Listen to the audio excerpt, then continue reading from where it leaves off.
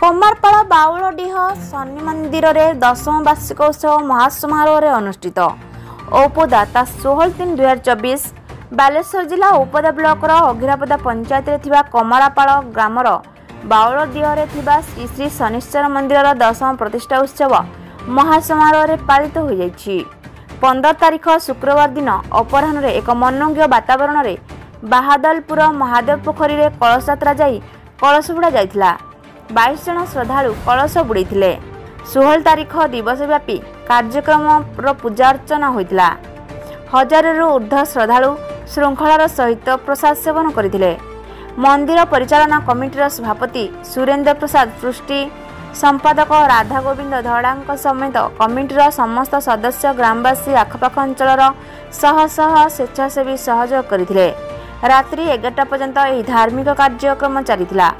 ଔପଦାରୁ ଆମ ପ୍ରତିନିଧି ଶାନ୍ତନୁ କୁମାର ବେହେରାଙ୍କ ରିପୋର୍ଟ ପଥାଳିଆ ନ୍ୟୁଜ୍।